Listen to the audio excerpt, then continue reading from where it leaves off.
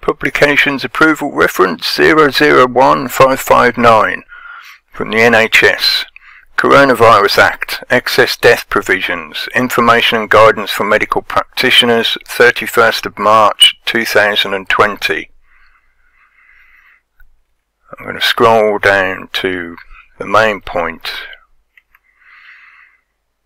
on the second page, paragraph B.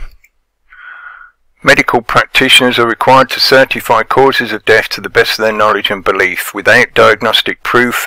If appropriate and to avoid delay, medical practitioners can circle 2 in the MCCD. Information from postmortem may be available later or tick box B on the reverse of the MCCD for antemortem investigations.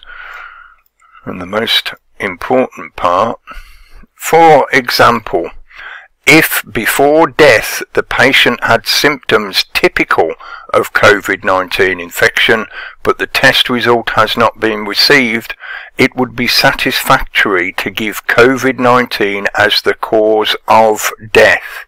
Tick box B and then share the test result when it becomes available.